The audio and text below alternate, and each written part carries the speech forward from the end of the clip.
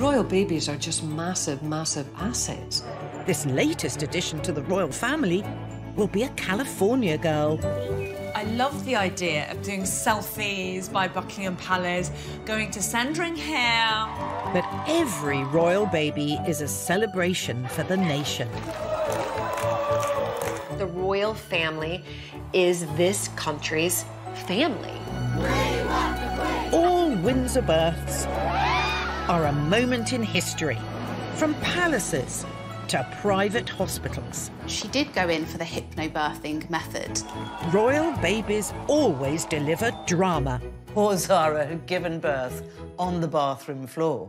Steeped in tradition, protocol, and destined for duty. They're put to work the minute they're born. Prince, Princess, and Baby Prince emerge to the cheers of the crowd. The country loves Singing, well done, Charlie, let's have another one. a royal baby. Bloody hell, give us a chance. But as the House of Windsor gets its biggest shake-up for a century, If one of those godparents is Oprah, they may want to keep that to themselves. what will the future hold for the next royal generation? I think we can either go forward into a new age or we can go backwards. Another, another great grandchild.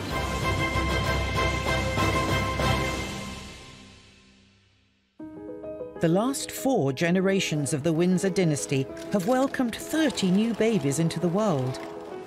They may have won the hearts and minds of the British public, but Harry and Meghan's latest pregnancy created a royal first. Hi. Hello. Thanks for when they us. sensationally revealed in the Oprah Winfrey interview the sex of their baby in waiting. First of all, let's say congratulations. Thank you. Meghan said she wanted to wait until you were here to tell us is it a boy or is it a girl? You can tell her. No, go for it. No, no. It's a girl.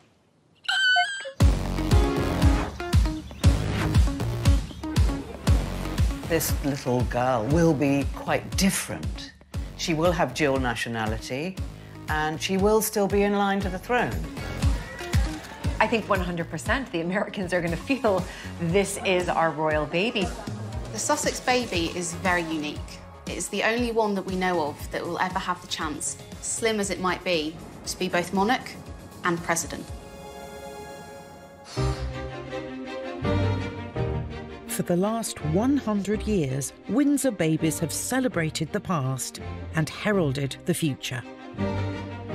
If you look at the few things that unify a country, it's royal weddings and royal births. We're all sitting there like meerkats. Okay, when's the baby coming? When's the baby coming?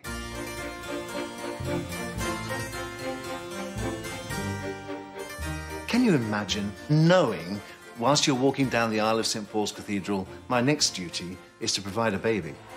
That was her role. Within three months of marrying Prince Charles, Diana was pregnant. I remember going to photograph her at the Guildhall, somewhere like that in London, and she wore this big coat.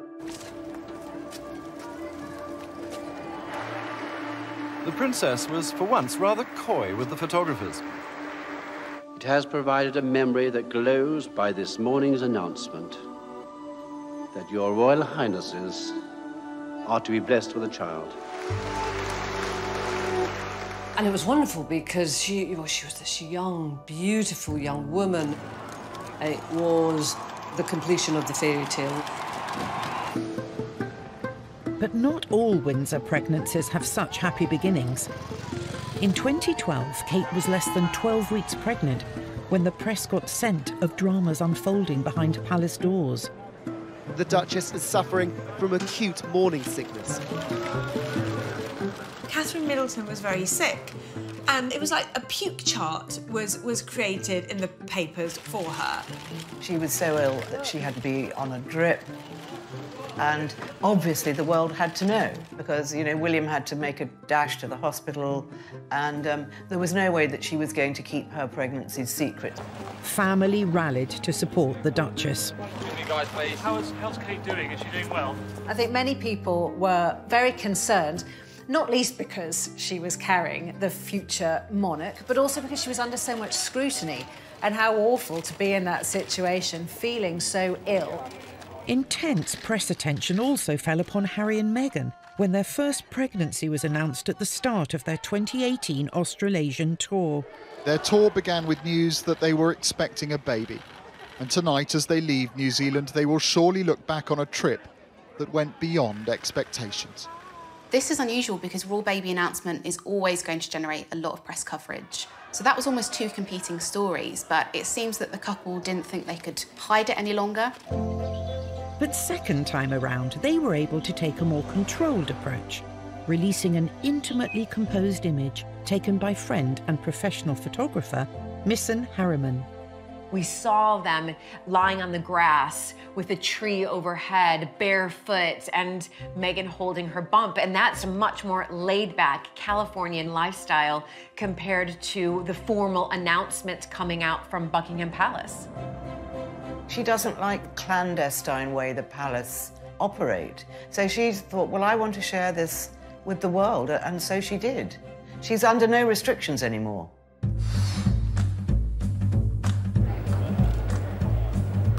Think the press gets a little bit discombobulated when a royal baby comes along because the media isn't nice.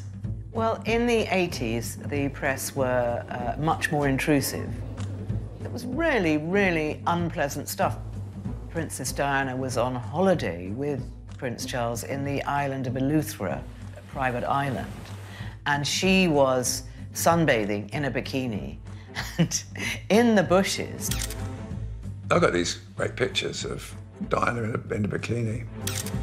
You know, it was the long lenses, almost trying to conduct an external scan of the fetus. Signs of a bump, signs of a bump. We sent them to London, then we were ordered to come back straight away. I arrived back in London and there was uproar. There was a massive row going on about it. And the Queen was furious. And she called a meeting of the Fleet Street editors and said, You've got to leave this girl alone. You're endangering her unborn child's life. Today, no one would publish the pictures. It's just a completely different era now. During the post war period, pregnancy fashion reflected attitudes of confinement and covering up, and the Queen's clothes mirrored this approach. Well, most royal ladies would not be seen when they were pregnant. There is a couple of pictures of the Queen, but there are very, very few. But fast forward 60 years, and the Windsors were out and pregnancy proud. I don't know what it was about 80s fashion. Everyone looked like tents. Both Fergie and Diana wore these voluminous maternity smocks, which at the time were fashionable. I think in some ways that was a sort of liberation because pregnant women were allowed to let it all hang out, but also you were expected to cover the bump. It was all the puffy sleeves, the polka dot. There was Fergie in her sailor's costume. She was a fashion football that we kicked around, that poor woman, to our shame. In the 21st century, royal mums to be combined style with practical sophistication. Catherine, of course, looked so elegant and had some beautiful sort of coat dresses made. Being so tall, she just looked wonderful. Meghan went for the more trendy look of showing the bump and wearing tight clothes. She would always have her hand resting on her bump. Poor girl, she was criticised for that, which is quite unfair because where else is your hand going to go? Baby shower thing is an American idea, like trick or treating. Baby showers are as far from British tradition as you can get. I was told having a baby shower is bad luck, whereas in America, nothing's really bad luck. We want to celebrate everything. Meghan's baby shower was held in New York's exclusive Mark Hotel. She and her girlfriends had the run of the penthouse suite. It was reported at the time that she was lent private jets and the hotel bill for over £200,000 was picked up by her pals. We had never seen someone throw this very lavish affair to celebrate the sort of impending arrival of a baby. Well, this is what happens when your grandson marries out. Meghan flew to New York mid-term. Wouldn't you think that would be dangerous? It was just so trashy looking because they walked in through the front entrance carrying these enormous bags from the most expensive baby shops in New York. Crowds gathered because they were all celebrities. There was Gayle King from CBS, there was Serena Williams, and then, of course, there was Amal Clooney. And I remember speaking with a Palisade at the time who rolled their eyes. They were horrified that something so common was happening within the House of Windsor. But baby showers were just a sign of times to come. A century of royal baby protocols was about to be ripped up. Meghan herself said to friends that she felt under pressure to serve Archie on a silver platter. The due date of Harry and Meghan's baby girl is a closely guarded secret. But there's one thing we do know for sure. She will be born in California. Meghan will probably be in this beautiful white room with fresh orchids and maybe um, whale music, perhaps a cool sea breeze being wafted in magically by Oprah Winfrey herself. yeah. There's a lot of speculation about where Harry and Meghan's daughter might be born. Cedars-Sinai in Los Angeles has seen some of the finest maternity suites in the country. Kardashians, Beckhams, and Madonna have all given birth at Cedars-Sinai, where deluxe maternity suites reportedly cost up to £2,800 a night. Wherever the Sussexes choose to have number two, it will be a very private affair. But this has rarely been the case for royalty through the centuries. The Queen was born in the family home, Bruton Street, Mayfair, just before the general strike of 1926. The Home Secretary had to attend the birth because eh, in those days, Home Secretaries had to validate that it was indeed a royal child. This was absolutely necessary because the Queen Mother's body was owned by the state and the child was also owned by the state. The Queen Mother banished her unwanted guest to adjoining room. And 22 years later, her daughter scrapped this ancient tradition when she gave birth to Prince Charles at Buckingham Palace. By all accounts, it was a long and difficult labour. Prince Philip went down to the squash courts in Buckingham Palace and had a very vigorous game of squash. And then footmen ran down there and said, Oh, Your Royal Highness, you know, your wife has given birth. So he dashed upstairs with a towel round his neck and he presented the Queen with a bunch of white flowers. The Queen gave birth to all her children at home. But the next generation of Windsors would move from palaces to private hospitals. The Queen would have preferred the Princess to have her baby here at the palace. But in the event, it's assumed the Princess bowed to medical opinion. Princess Anne was the first of the Queen's children to use St Mary's Hospital, Paddington. But it was Princess Diana who made it truly famous. The Princess is in the private Lindo wing. Not all rooms look over the front, so she may not be able to see the crowd. The royal doctor practiced from St Mary's Hospital and that's why they all went there. Besides the impeccable bedside manners, private hospitals had other important perks fit for royalty. You get the very best service. You can order pretty much uh, whatever you want, very much like a room service menu in a hotel. But such luxury was a veneer to the stark reality of giving birth at the Lindo in the 1980s. When I had my daughter in the Lindo wing, it was very old fashioned. It was really quite shabby. And the bathroom was across the way from the bedroom. I was in the same room where Diana gave birth, and it just looked out on a brick wall, really. Unlike his father, Prince Charles was present at the birth of his son and heir. The crowds began to gather just after 8 this morning, and they've stayed here all day in alternate sunshine and showers. Diana had a, a, a long labour, and she was under a lot of pressure and she was tearful. She had little tricks, like she would suck ice cubes, she'd have, a, you know, a sort of uh, flannel on her forehead. It was like all sort of old-fashioned. Well, I'm hoping she won't keep us here all night. Would you like to see a baby boy or a baby girl? I would like her to have a boy, and I should think if she's having all this trouble, it's a boy. When Prince Charles emerged at 11, they roared their congratulations. Prince Charles is extremely emotional and he was so excited. He wanted to share it with the world and he was almost mobbed. Somebody kissed him on the cheek and they were shouting questions at him. How do you feel? I'm obviously relieved and delighted. It's marvellous. It's rather a grown-up thing, I find. you could see he was bursting with pride. They have been singing uh, Well Done Charlie, let's have another one. Uh, Well. on the programme of events? Bloody hell, give us a chance. 31 years later, Kate followed in her late mother in law's footsteps. She revealed that she did go in for the hypnobirthing method and that it was very much a mind over body experience, trying to control the pain and get on with, with having a baby, essentially. Kate's calm deliveries were in sharp contrast to the dramatic arrival of Zara and Mike Tindall's baby Lucas.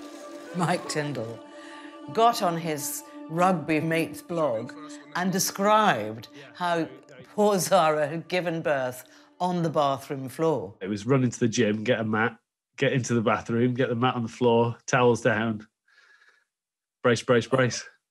Oh my God. Mike's hijack of the good, the bad, and the rugby podcast became perhaps unwittingly the most graphic account of a royal baby birth in Windsor history.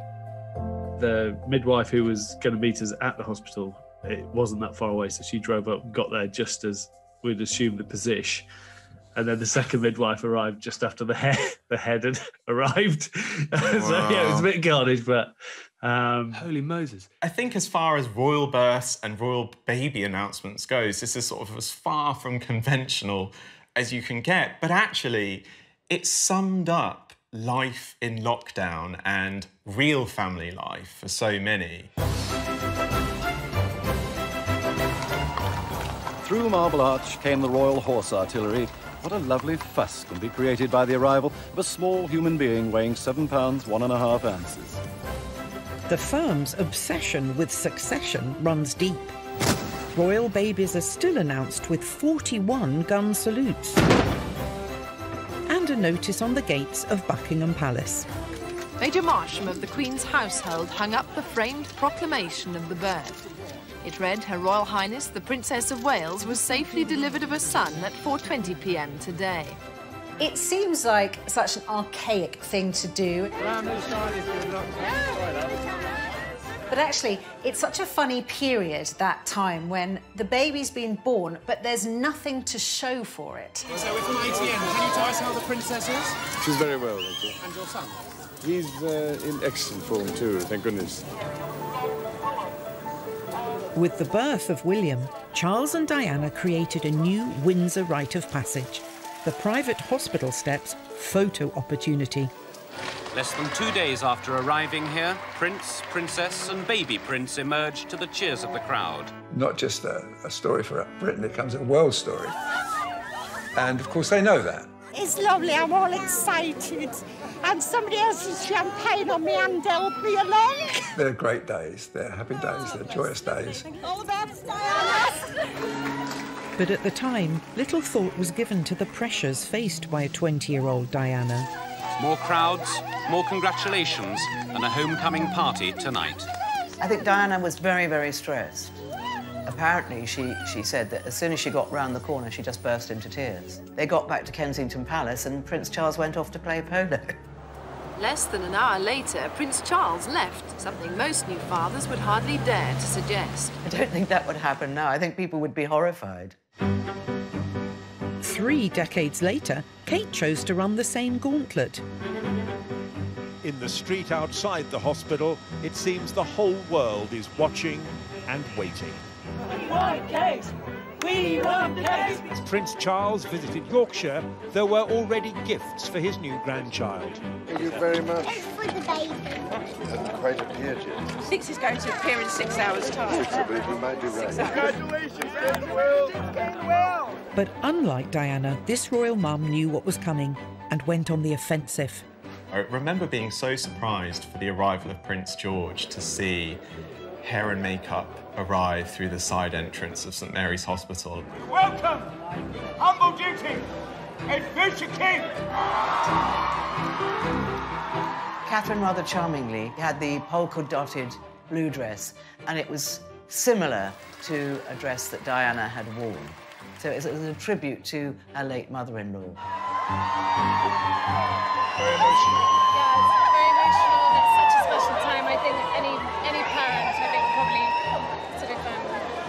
this feeling feels like. So. Very special. On the other side of the camera, people don't realise that there's 60, 70 photographers. There are 20 news cameras, not just from the UK, but from the US, the Commonwealth. It's a very unnatural production. Catherine did come into criticism because she looked so immaculate. Her hair was beautifully blow dried and she looked amazing. Um, and other mums thought this is setting a standard too high. She has to be nice at all times and dignified. What does that mean? That means we pounded her, we pounded her, and she didn't crack in public. All three of the Cambridge children were paraded to the world's press on the steps of the Lindo wing. But when it came to the Sussexes' firstborn, it would be a very different story. Meghan herself said to friends that she felt under pressure to serve Archie on a silver platter. So they did their bit, but it wasn't quite enough for us. Archie was born at the Portland Hospital. But the press were bewildered when the Sussexes made a secret dash back to Windsor. Prince Harry does it his way, I mean, or Meghan does it her way, uh, through us all. Instead, uh, Harry went to the Mews at Windsor and gave uh, a little interview. I haven't been at many births. Um, this is definitely my first birth. Uh, but it was amazing, absolutely incredible. You could see he was so overjoyed that it was really lovely. This little thing is, is, is absolutely to die for, so I'm just over the moon. It was great that he came out. And then later on, they went to Windsor Castle. It was a private moment in St George's Hall, just them and a couple of photographers, three sanctioned questions for them to sort of share their happiness with the world. The Duke and Duchess were asked if they show a little more of Archie's face to the cameras, and Harry willingly, if gingerly, did so. Wow. He's already got a little bit of facial hair as well. Wonderful. Thank you, everybody, for all the well wishes and the kindness. Mm. It's it just means so much. You know, she hadn't lost, uh, you know, her baby weight like, like Catherine did, and he went... but Meghan was still looking very, very mumsy, but it was charming, really charming. That was widely interpreted as a message to new mums. This is natural and normal. Don't feel you have to bounce back into your pre-pregnancy weight in days or weeks. Whether or not Meghan was making a statement about how young mums could or should present themselves, when it came to Archie's christening, she and Harry would once again take controversy to a whole new level. There were some people who were clearly a bit miffed. It was never actually revealed who were the godparents, so we just did a guessing game.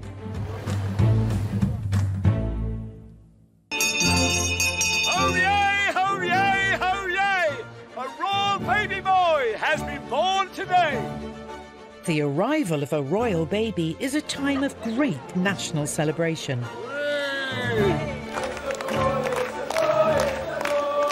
But usually, the child has barely been born before everyone is aflutter over its name.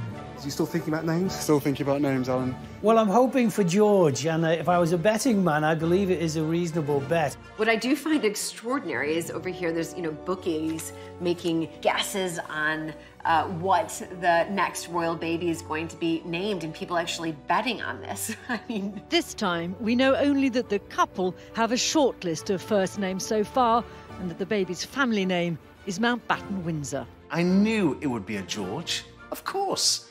And a Louis, of course. And a Charlotte to match the George. William was so predictable. I didn't get Archie Harrison. Have you thought of a name yet, sir? Have you thought of a name yet, sir? Have you thought of a name yet? Yeah, we thought thought of one or two, but uh, bit of an argument about it. Choosing a name is the first great challenge for any royal parent. We're actually presented with this very small pool of royal names that already have history within the family. It's hard to be original. It's hard to give the name to the child that perhaps you secretly want. William will be will be king and we will have Queen Kate. So their children, they're presented in a very traditional way. They're still dressed in a very traditional way. They have Charlotte, George and Louis, which are very much royal names. The closer you are to the throne, the more traditional a royal baby name kind of needs to be. But as you step away from different generations and different cousins, for example, you can be a bit more left of field. I think Princess Anne was the one that sort of slightly started to do things differently when she called her daughter Zara, which means bright as the dawn. The princess, joking with the nurses, said, She's quiet, isn't she? And then, of course, in turn, Zara has called her children less traditional names. I think Mia and Lucas are Zara Phillips' children's names. They're, you know, my, my children's schools are full of Mia and Lucas's. Harry and Meghan's baby, of course, was Archie, which completely took the public by surprise. So it shows you that they weren't going to go with tradition, that they were going to go with a much more relaxed name, but also going with the name I assume that equally both of them just really liked. It's just Archie. They really liked the name. Meghan and Harry marked themselves out as forward thinking royal parents in their choice of name. Yet in Meghan's shocking revelations to Oprah Winfrey on American TV, the traditions of royalty seem more important to the couple than the public had previously been led to believe. What was happening behind closed doors was, you know, we knew I was pregnant. We now know it's Archie, um, and that it was a boy. We didn't know any of that at the time. We can just talk about it as Archie now. And that was when they were saying they didn't want him to be a prince or a princess, not knowing what the gender would be, which would be different from protocol. The couples claim that their children, contrary to long standing tradition, would not get titles, became one of the interview's biggest controversies. We thought, we understood that one thing they didn't want was for their children to be encumbered with royal titles, but obviously they did. But just what are the rules about giving titles to royal babies? In 1917, George V declared that all grandchildren of the monarch would be a prince or a princess. This means that as soon as Prince Charles becomes king, all of his grandchildren are entitled to the HRH status, as well as that title of prince or princess. But Meghan claimed that this rule would be changed in Archie's case, meaning he would not receive a title. The couple wanted a title for Archie, not just because of the the legacy that that title would carry, but also because of the benefits that come with it, the royal security. In the Oprah interview, Meghan implied that the denial of Archie's title came in tandem with the shocking new revelation. So we have in tandem the conversation of he won't be given security, he's not going to be given a title. And also concerns and conversations about how dark his skin might be when he's born. What? About how dark your baby is going to be? Potentially, and what that would mean or look like. Ooh. I think that the link was an emotional link that was made between that terrible question and the line of succession. And you can then understand why Harry might take that quite personally. How warm a welcome is that to the royal family's first mixed raced senior family member? As he arrived for his christening, it was apparent that there is now another royal the cameras will love. Royal christenings are very important, like royal births. The monarch is the head of the Church of England and those within the succession may well become head of the church. So therefore the christening is about anointing the person who will be head of the church. Consequently, Windsor christenings have become steeped in tradition. Up until 2004, all royal babies had to wear a robe that dates back from the 19th century. It was Queen Victoria that commissioned the beautiful, beautiful christening robe which is made of Honiton lace. It's 170 years old, that room. Between 1841 and 2004, 62 royal children were christened in Queen Victoria's robe. Granny was christened in this. Great Granny. Great Granny. And then it was deemed that this, this robe was going to fall apart if any more royal children squeezed into it. So a replica was made. The Queen's dressmaker stained it to make it as close a replica as possible, and she used Yorkshire tea to do the job. It's been worn by Prince George, Princess Charlotte, Prince Louis, and most recently their cousin Archie. Royal children are baptised in another of Queen Victoria's heirlooms, the silver gilt lily font. And the water used comes all the way from the River Jordan. I imagine at Buckingham Palace they have a vault where they've got their Jordan water supply. And just like in the Queen Vic on, on EastEnders, they'd go, We're running low on Jordan, you need to change the barrel. And they'll send an equerry or someone off to, to the River Jordan and get his bucket and come back with more. Yet none of these royal rituals and traditions are seen by the public. Those intimate moments inside the chapel have always been off limits to the public. But there is an agreement that afterwards there will be a photograph and also there'll be a lineup of the godparents, which will be released to the press. Harry and Meghan, however, took the privacy of a royal christening to another level. Behind the tall walls of Windsor Castle is where fewer than 25 guests were invited to witness the newest royal baptism. Those invited taken discreetly to the tiny private chapel. It was so sad because Archie got christened in the private chapel at Windsor and there was absolutely no pictures released and it was never actually revealed who were the godparents. So we just did a guessing game. There were some people who were clearly a bit miffed. We do pay for the royal family, including uh, Meghan and Harry, and I think that they could have given us a little, you know, um, a little something. Other people were saying, well, good for them, you know, doing whatever they can to protect the privacy of their family. If one of those godparents is Oprah, and I'm not saying that she is, then you can understand why perhaps they may want to keep that to themselves because even Oprah sitting down to interview them was controversial enough in itself. Once a royal baby has been adopted into the Church of England, it's not long before duty calls. Prince George has done the seemingly impossible, stolen the limelight from the Duchess of Cambridge, despite her best efforts. The world loves royal babies. They're put to work the minute they're born. The moment you're out of the womb, they should pop a crown on your little head, avoiding the soft spot. A baby passed from father to mother with an affectionate pat on the head. And I think we saw that uh, most with George. After his arrival, uh, very quickly he was rolled out in front of the public at Taronga Zoo in Australia. But newborns hadn't always been so centrally involved in royal duties. 100,000 gathered to see Princess Elizabeth, whose popularity increases daily. In the Queen's era, it was taboo to take royal babies on tour.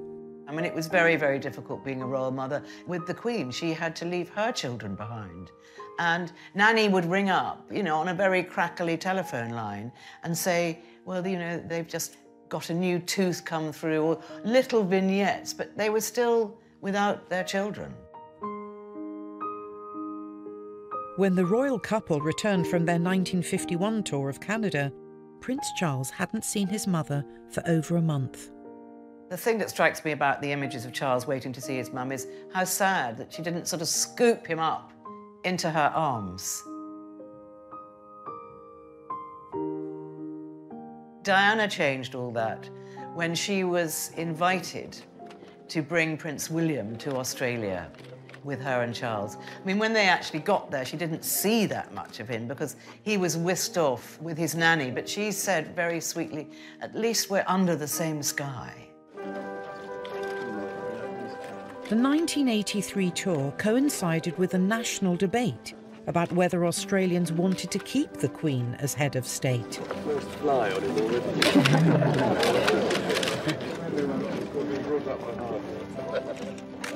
Of course, at a time when the country was questioning the role of the monarchy for Australia, what, what better prop can you use than a baby to warm the hearts of a nation? Prince William himself demonstrated that he's serious, self-confident, almost nonchalant. But, like any other six-month-old, he'd not yet understood the phrase, being on your best behaviour. While a royal baby can often appear angelic to the adoring public, for the parents, it can often be a different story. Anyone who's had a toddler will know that their ability to embarrass you in uh, sensitive situations is just without parallel. By now, a tearful Prince Harry had had enough. Prince William, on the other hand, still had a fair amount of energy left. They're masters at that craft. And of course, royal kids are going to be exactly the same. There was a picture of Charlotte having a meltdown with Catherine and William. George was in the helicopter simulator. She wanted to get into it as well, and she uh, was talking to mum, and she threw herself on the floor. I remember it. It must be so hard because you know people are looking at you. You know that the paper's going to write, oh, naughty meltdown. The kid's not being naughty. The kid's frustrated and behaving exactly as a frustrated three-year-old should do, which is howl. Yet a royal toddler's most embarrassing moments often occur when they have an opportunity to play to the public gallery. Princess Charlotte, of course, famously caught sticking her tongue out at some of the photographers. May have been more of a reflection of how she knew her parents felt about the photographers that tailed them along. She's so adorable, and of course, they make great pictures. We saw Prince Harry doing exactly the same when he was four or five. He was quite famous for sticking his tongue out at the photographers. Harry, I think from an early age, felt he was in a theatre. And it was all amusing that people were staring at him. So, of course, he played up. And he acted his role. All Windsor children face the challenges of a life spent in the public eye, but the home front can be just as difficult, particularly when it comes to controversy in the royal nursery. One of the papers reported that they'd been through three nannies and that they must be terrible people to work for, but very few people know the real story behind it. When a royal baby is born, the eyes of the world focus on the skills of the new parents. But behind closed doors, someone else is just as important in the child's upbringing. Well, royal nannies are the backbone of everything. They are so important. Oh my God, you have to keep so many secrets.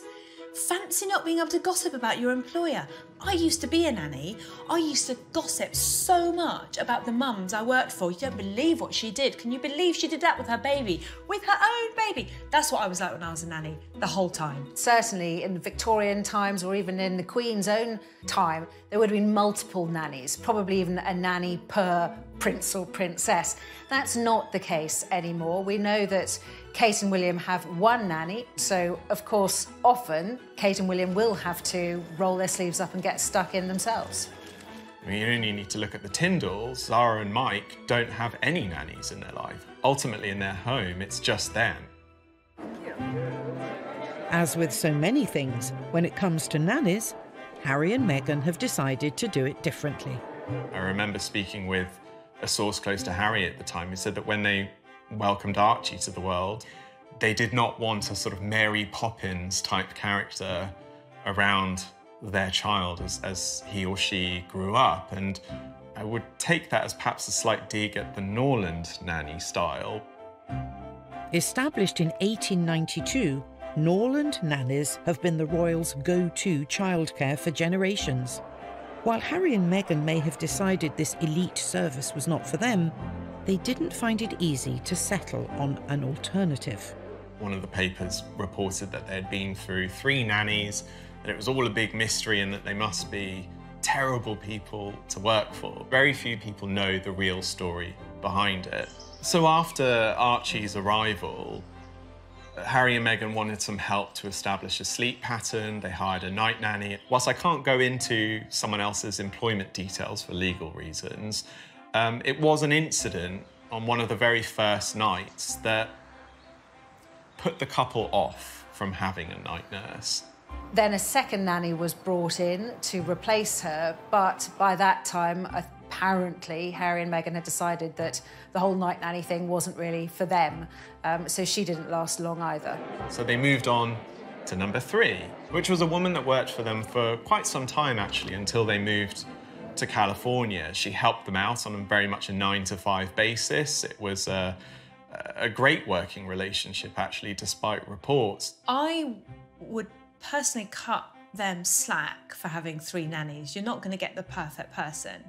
It takes time to figure out what's best for your family. Whatever battles may be going on behind closed doors, royal parents will also struggle to keep their child out of the public eye. I think every royal parent is very keen to try to give their children as normal an upbringing and normal childhood as possible. Of course, it would be ridiculous to say that those upbringings are normal. They're not.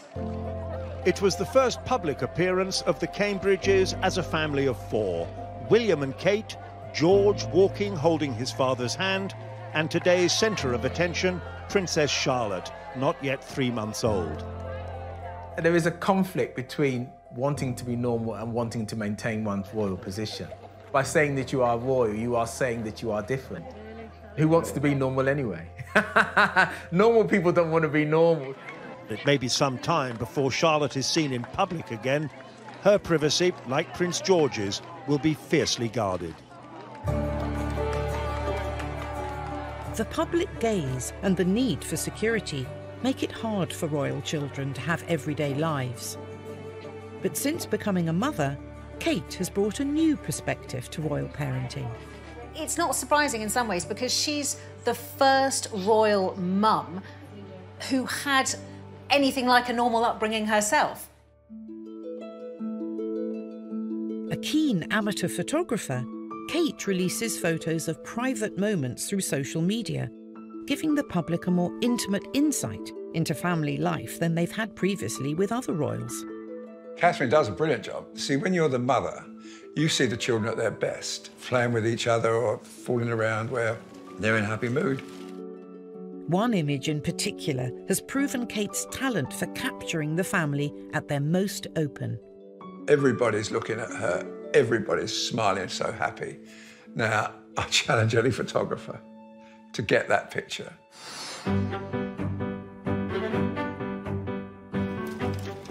I do remember the first day the boys went to school in their uniforms, and always the princess accompanied them. We got used to seeing them going off to their London prep schools, going off before that to uh, their nursery school, being taken by Diana, and that became very much part of, of royal life in London. Unlike any other child in the country, a royal child's first day at school is witnessed by the press. None of their, their school life was private. Every time they started at the nursery school, we were there. When it was their school play, we were there. I mean, William told his policeman one day, you know, I hate, I hate tographers. He said, I hate tographers. William, of course, was very shy and he, he hated it and, you know, being on parade like that. That's why William today won't let his children go through that. I mean, if when they start school, one photographer does it when they and and uh, and it's all agreed beforehand. Kate and William have managed to limit the paparazzi access to their children's school life. But in LA, will Harry and Meghan's kids enjoy the quiet life their parents left Britain for? I think the big difference is with Archie and the new baby being schooled in America, those children probably won't know that he's the great grandson of the Queen. Whereas if he were schooled over here, every parent, probably every child, would absolutely know that they were and they are the great grandchildren of the Queen. So, just what will the future hold for Meghan and Harry's children and the family they left behind in the UK? We may have Archie and his sister deciding to perhaps take on careers in Hollywood. You know, I think there's so much talk about whether Archie or his sister might become president one day or take on a life in American politics. I feel sorry in a way for the Sussex children that they won't witness that rich tapestry, that history of being a royal child.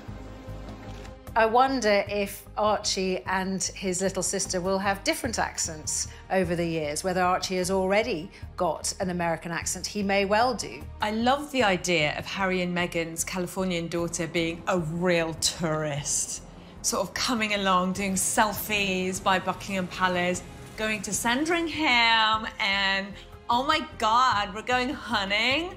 Oh, well, I'm a vegan. Harry and Meghan's baby will be shouted about to all over the world. So I think all eyes will be on California and on this new royal baby arriving on the other side of the pond.